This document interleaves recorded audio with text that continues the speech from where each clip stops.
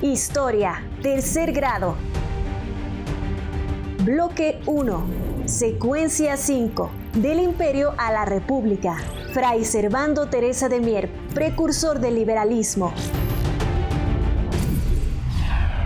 Tras la firma de los tratados de Córdoba y de la entrada del ejército trigarante a la Ciudad de México, la nueva nación debía decidir qué tipo de gobierno tendría.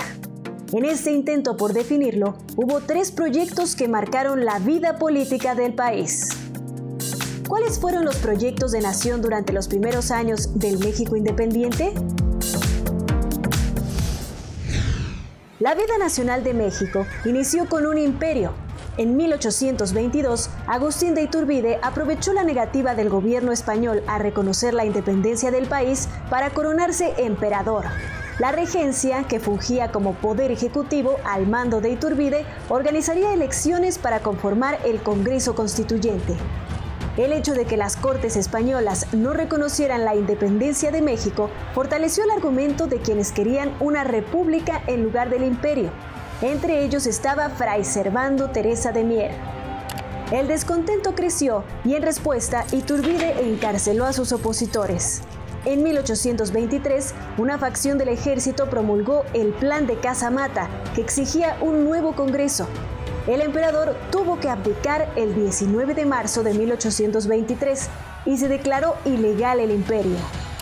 Había que decidir el sistema político que debía tener México.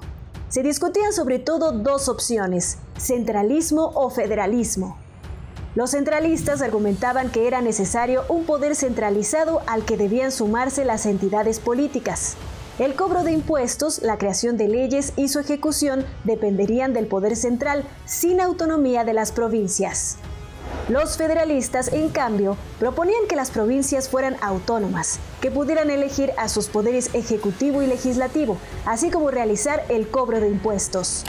La postura federalista se basó sobre todo en la diversidad regional. Era claro que las regiones tenían distintas necesidades, costumbres, actividades económicas y densidad de población. Su idea era la de un pacto federal, de ahí su nombre, en este contexto, el fraile dominico Servando Teresa de Mier, uno de los políticos más importantes de la época con tendencias liberales, señaló la necesidad de la independencia y libertad absoluta de América con relación a España. Su idea era la de una república.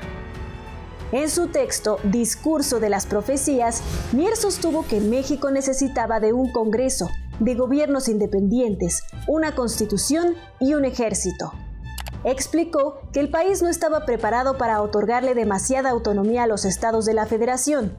Así, con esta idea de una república federal representativa y democrática y con Fray Servando Teresa de Mier como diputado del Congreso, el 31 de enero de 1824 fue promulgada el Acta Constitutiva de la Federación Mexicana de Corte Federalista, la cual asignó el nombre oficial al país Estados Unidos Mexicanos.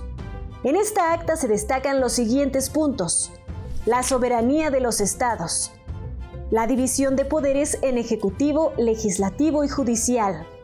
La representación en dos cámaras. La religión católica como la única. Tras la promulgación de la Constitución, el país quedó integrado por 19 estados, el Distrito Federal y cuatro territorios que serían gobernados por el gobierno federal. En 1824, con la nueva constitución, el Congreso convocó a elecciones.